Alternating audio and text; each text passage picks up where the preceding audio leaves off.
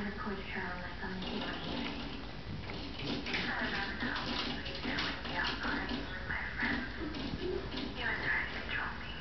She sounds drunk.